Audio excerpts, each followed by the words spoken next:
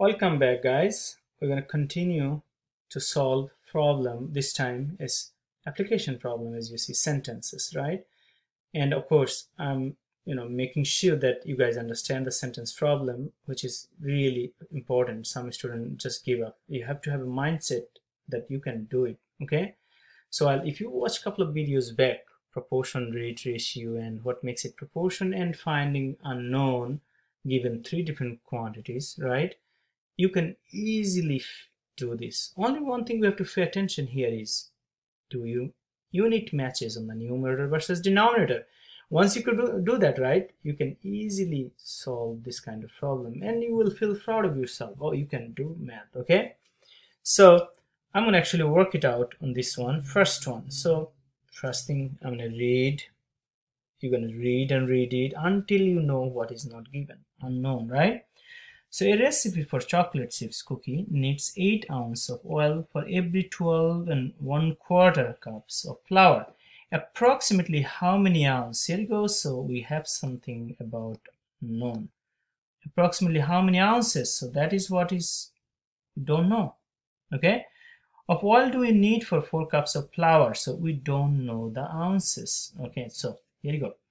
The beauty of this kind of problem is eh, always there is going to be two sentence. Clearly this is one sentence. And you can actually convert that sentence into a fraction or rate let's do that.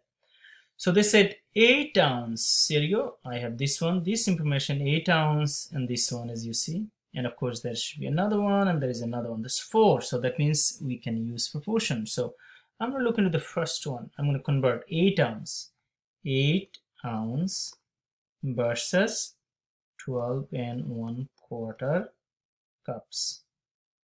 Look at that how I'm setting it up okay?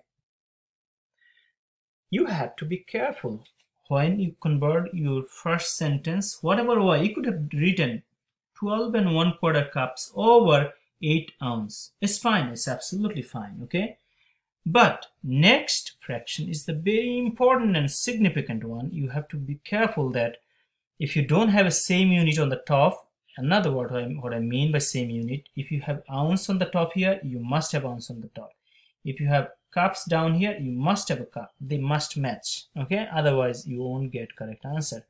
So clearly, we don't know how many ounce. So that is going to be our x and we know there is a four cups. So you know it's going to be four cups. Four cups cups.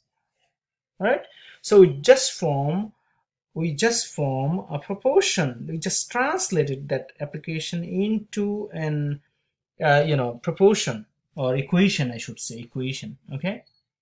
Definitely with the fraction we can call it equation too so the next thing we can just solve. How do we solve? We can just say x times this one, which is 12 and 1 quarter cups. We don't really need that. 12 and 1 quarter x equal to 4 times. So do the same thing here. 4 times 32. 4 times 8, which is 32. So I want to check out, you know, those couple of things. I want to yeah so it's not that doesn't look that messy okay? So now I have you see that's it what that is what I did. Clearly I'm going to divide this by both side by 12 and 12.25 actually. And convert into that that's fine. If you use calculator you don't really worry. You just divide by the 12 and 1 fourth in both side. 12.25 or 12 point let's actually it is this one here 12.5 sorry 12.25 okay.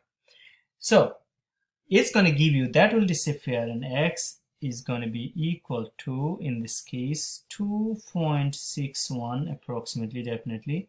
They said approximately how many ounce? So we say approximately you need well we cannot say 2 ounce. We said we should say approximately 3 ounce we need to make that much chocolate chips cookie that's how remember don't forget to write down the unit it's always good thing okay you always good Okay, so again, I'm going to go back here a little bit. I want to make sure that you don't get confused with this conversion here. You can just put down 12 and 1 quarter. That would be same thing, 12 and 1 quarter is going to give you the same answer, okay? Guys, let's move into the next problem.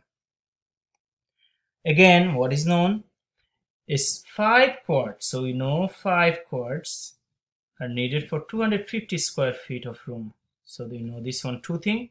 And also we know 25 quart for how many room? We don't know. So there is a four thing going on but three thing is known one is not known. So we we can right away convert into a fraction on the first sentence. So 5 quart over 250 square feet equal to 25 quarts, so it's matching on the top. 25 goes on the top. Quart over how many square? We don't know that. How many square feet do you need? You don't know that. Okay. So once we know that, guys, I want to make sure we can do this. Okay. So we can just cross multiplying Just like that. It's simple as like that. Okay. Again, I'm show you here this one versus that one okay so 5 times x is 5x equal to 250 times 25 that should give you 6250 remember we are looking for square feet because quart and quart is gone on the top as you see you can just cancel them out. Then divide by 5 divide by 5 cancel out x equal to if you do that it's going to give you 1250 square square feet unit. Yeah that's the answer. That's how you actually work it out. Okay guys that's how you work it out. Okay? Very nice let's take a look couple of more problem okay? So we have this one here as you clearly see. There is another different kind of problem. So can we use proportion? Obviously you can use proportion. Actually you know you can do it arithmetic also. So first of all if you can use proportion let's check it out here. What is known? What is question asking? A freaking school has 54 so you know total is 54 student okay? At some point is going to be in the denominator. It is also known that 7 over 8 7 over sorry 7 over 9 of the student can recognize 26 letters. Again this is to just this is nothing to do with the problem. How many students still need to so they know that they know k n o w they know. But question asking how many still need to know? Don't know. Don't know.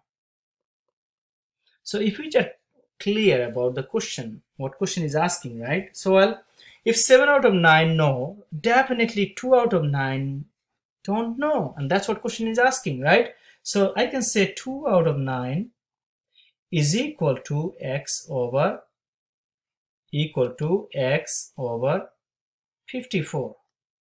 I can easily do that. So then what happened is basically you just cross multiply. You can just say x times 9, 54 times 2. So I can actually come up with that. 9x equal to 100 something right?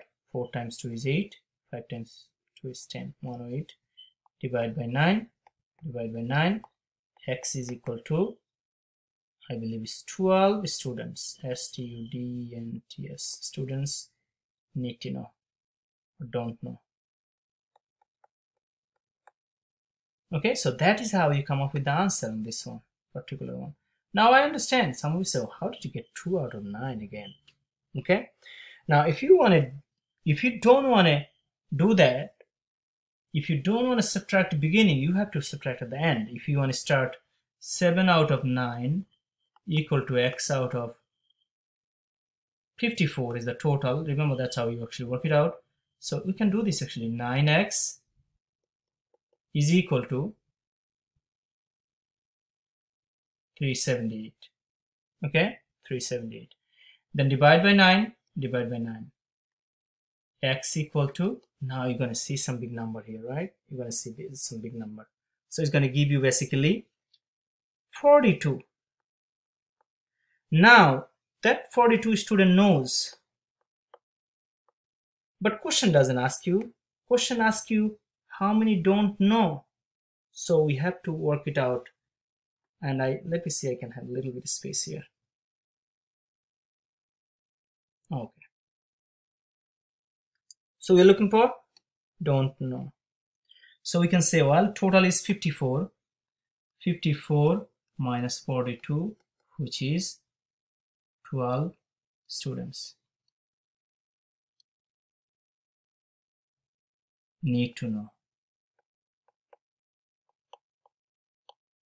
okay guys that is how you come up with the answer. So you can do any way you want to do but that should be the you know final answer. Okay? Now you can actually well I can show you there is another way you can do this also. Just plain arithmetic but you know I want to make sure that you understand that if you are in algebra class right you don't want to settle on arithmetic okay? But I'm going to show you here because some of you may say oh you know what?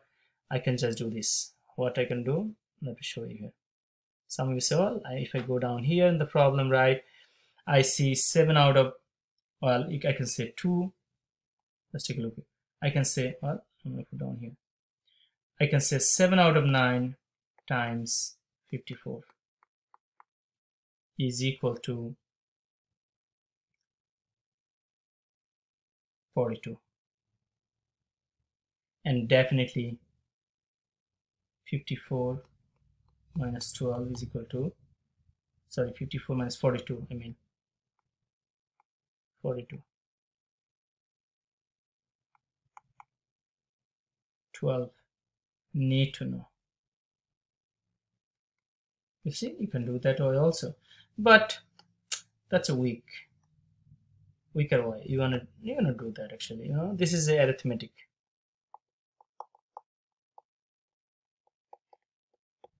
and those we did algebra. And of course you can do same thing. You can do if you know you can come up with that.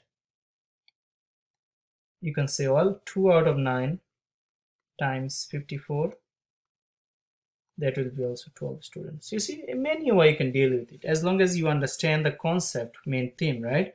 You're fine on that. Okay let's do this one. It's still the same similar stuff okay? We can do arithmetic we can do algebra. I think i'm going to start with the algebra because this is an algebra class okay? And again if you cannot handle the algebra you can come up with the arithmetic. Still you get the answer. Don't leave anything blank on your test paper okay? So 60 members let's read it. 60 members are going to pass a resolution to elect a team leader. One sixth of the members voted in favor and two-fifths of the members voted against. How many did not vote? Here you go. So I clearly see one-sixth is the fraction equal to x over 60. So you do the arithmetic right, is going to give you 10. x equal to 10 member. Okay, member, what happened? What they did? Voted. And again, next one, I have another one here, 2 fifth equal to x over 60. How many of them? So x equal to, clearly you checked out, is going to give you 24. While you cross multiply, by now you know how to cross multiply, 24. Altogether, how many? Well, this one did not. This is voted for voted for and this is voted against. So altogether how many member actually join the voting process? So as you see 34 of them. Why? Because there is a 10 and there is a 24 it all together is 34 now if you know 34 shows up to vote question is asking how many did not vote. Asking how many did not vote. We can just think basic arithmetic way so we can say 60 minus 34 is equal to 26 did not both that's how we find out the answer for this kind of problem guys. So you see it's not that bad at all